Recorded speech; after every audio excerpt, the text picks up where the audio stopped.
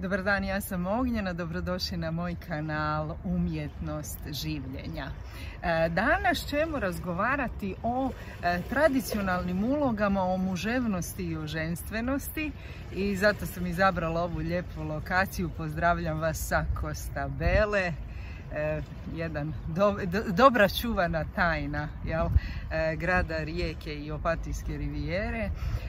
Hvala vam što ste tu i hvala vam što me pratite. Odslušajte reklame do kraja, e, ostavite komentare, da pa će ova tema će možda otvoriti neka, a možda i brojna pitanja. E, a ako želite raditi sa mnom, pošaljite mi mail, znači možete raditi sa mnom individualno, možete se uključiti u neki od edukacijskih programa. Znači, čitamo se.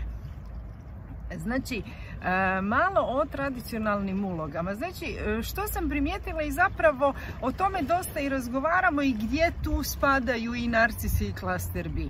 E, jako često čujem kako nekako nestaju kavaliri, nestaju dame i nekako to možda i, svjedočimo i vidimo. Ja se često volim našaliti i kažem pa dobro možda, možda sam jednostavno ostarila pa onako zvučim tetkasto, jel?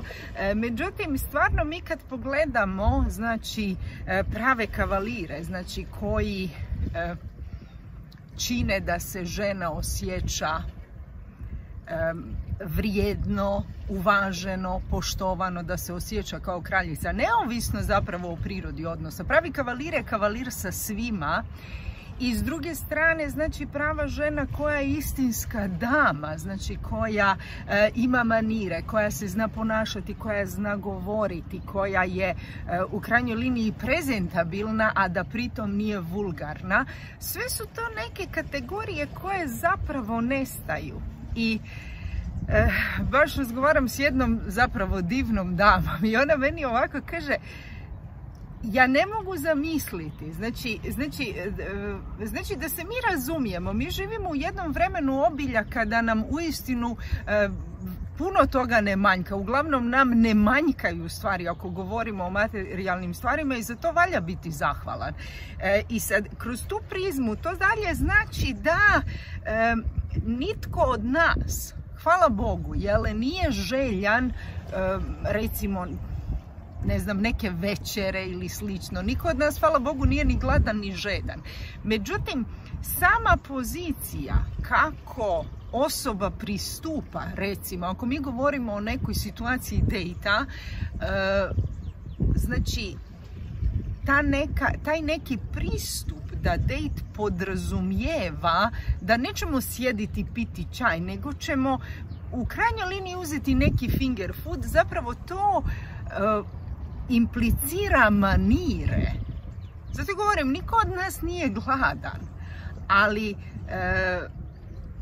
sama atmosfera i ljudi i energija će biti apsolutno bolje ako sve to ima, znači, neku, neki odgovarajući kontekst i scenografiju. To se na primjer kaže ako ima šuga. Šugo vam je onaj, ako znate šta je šugo, šugo je onaj umak koji se napravi kad se nešto dobro kuha. Znači ono meso pusti šugo, pašta ima šugo. Znači šugo učini da sve bude bolje. Znači, nitko od nas nije željan. Međutim, ako osoba nije spremna učiniti ni toliki mini napor da taj date ima znači šuga, onda se otvara pitanje kako ta osoba tretira ne nužno vas, nego općenito tu situaciju. Isto tako, znači ako osoba dopusti, znači ako muškarac dopusti ženi da, da, da, da plati neki račun, onda se otvara pitanje koliko je taj čovjek zapravo muževan. I kažem, ja to ne govorim, nikome od nas ne manjka sredstava, znači za takve, znači za izlazak i slično. Ali je li, znači, može li čovjek koji će dopustiti ženi da plati račun Može li taj čovjek sutrašnjim danom postati pater familijas? Znači, to su ta pitanja koja su možda jako bitna. I onda, znate, e, postoji ono uvriježeno mišljenje da ne prihvaćaj ništa manje nego da te čovjek tretira kao damu i kraljicu. Budi takva, znači, mislim, to su e, znači, predispozicije i da osoba, znači, e, na isti način pruža upravo to i na taj način Znači uvriježeno je mišljenje da se na taj način isfiltriraju znači svi oni koji nisu vrijedni ajmo reći nekog razmatranja jel, u odsustvu boljeg izraza. Jer ako želimo jedan damski tretman, onda zapravo ne smijemo pristati na ništa manje. Isto vrijedi i za muškarce, da se mi razumijemo. Znači ako muškarac želi tretman s poštovanjem, onda ne smije pristati na ništa manje od toga. Međutim, gdje je tu zamka? Najveća zamka na ovom mjestu je da upravo ljudi iz klaster B-a na ovom testu prolaze bez greške.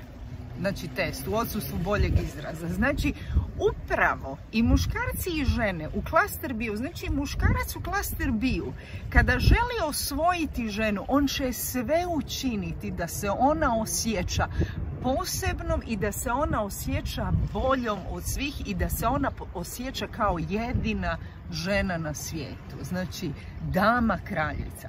Isto tako žene u klaster biju, one imaju onu sposobnost u fazama love bombinga uistinu učiniti da se taj muškarac osjeća muževno, vrijedno, mačo. Znači, oni imaju tu moć. Znači, i, i tu je istinska zamka jer e, onda se otvara pitanje na kom mjestu i kako e, ne mislim tu na fizičko mjesto nego na koji način naći, jel, e, ja volim govoriti vrste u izumiranju, znači ženstvene žene i muževne muškarce koji se znaju ponašati i koji umiju, znači, držati svoju tradicionalnu rodnu ulogu, a da ta osoba pritom nije, znači, toksični manipulator unutar klaster bija.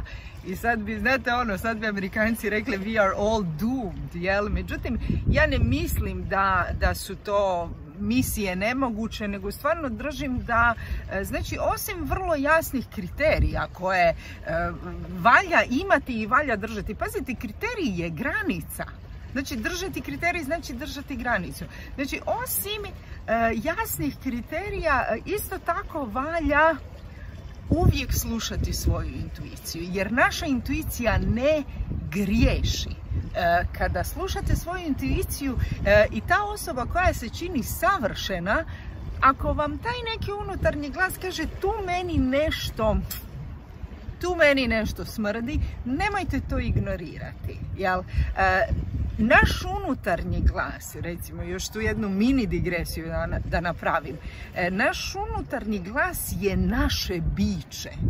To je ono što mi, ono tko mi uistinu jesmo. I e, kao posljedica tih toksičnih odnosa mi e, nekako skloni smo zanemarivati naš unutarnji glas. Međutim, želim da se razumijem, mi nikad ne izgubimo taj unutarnji glas jer to je ono što smo mi, to je naša esencija. Naš unutarnji glas eventualno zasjeni, nekako ga ne uočavamo, ne čujemo, međutim on je uvijek tu i što više obraćamo pozornost na njega, on nam postaje e, bliži i dostupniji. Tako da e, nemojte gubiti i to iz vida. Isto tako nemojte, jer to je ono što ste vi, to je ono što mi jesmo. Ne gubite iz vida tko vi jeste. Znači, kavaliri i dame i uvijek to budite, zato što e, u suprotnom svijet je vrlo i bez boje i vrlo je i vulgaran i profan. A ja mislim da smo mi rođeni da bismo uistinu živjeli jedan lijepi, kvalitetan život. Ljepota je jako bitna, tako da njegujte ljepotu u sebi i oko sebe. Okrenite se i otvorite se ljepoti, jer tako otvarate vrata jednom predivnom životu, a to je ono što vam ja želim. Hvala vam puno na ovom razgovoru, hvala vam e, na vremenu, hvala vam što me pratite. E, odslušajte reklame, ostavite komentare ako želite raditi sa mnom, bilo individualno, bilo se uključiti u edukacijske programe, pišite mi na mail, čitajte opis videa, a do sljedećeg razgovora budite mi zdravo, dobro i veselo. Ćao!